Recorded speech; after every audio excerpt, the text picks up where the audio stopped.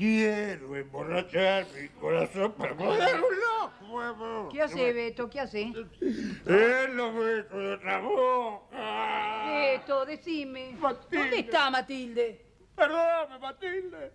Perdóname, Matilde. Beto, ¿qué hiciste? Beto, Beto, ¿qué le hiciste a Matilde? Canta.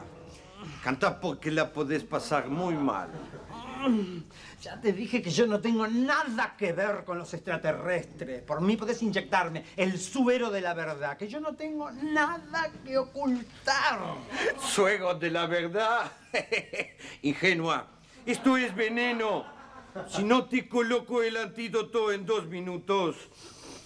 Tan, tan, ta, tan, tan, ta, ta, tan, tan, ta, tan. Antes de matarme vas a tener que pasar por sobre mi cabeza.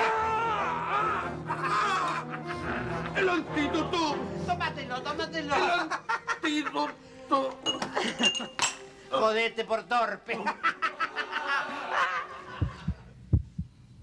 Es la primera vez que veo un caso así en mi vida. Ah, pero ¿no sería conveniente que le practicáramos una radiografía, doctor?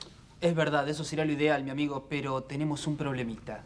La empresa Torneos y Competencias hizo cargo de todos los derechos y tiene la exclusividad de todas las ecografías hasta el año 2100. Doctor, mi hijo está bien. Yo lo siento, lo intuyo, no sé. Sí, nadie está diciendo lo contrario, señora, pero esta panza es un poco exagerada para tres semanas de gestación. Vos sos un desgraciado, Beto.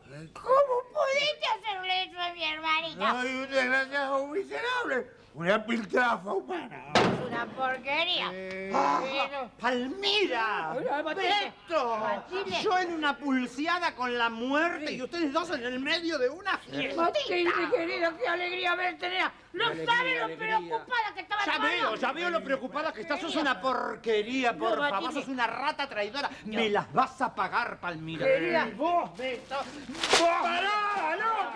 ¿Qué haces? ¿Me vas a pagar? ¡Pará! ¡Pará! ¡Pará! ¡Pará un minuto! ¿Qué es esto que estaba dentro del jarrón? Ay, Dios mío. ¡Ay, no! Ay, no. Ma- ma- Matilde, te la pusieron, nena. ¡No! Ay, ¿qué pasa? ¡Un minuto, oficial! ¡Un ¿Qué momento! pasa, querida? Abuelo, Matilde. coma. Coma, abuelo, coma. Trague, abuelo, trague, abuelo.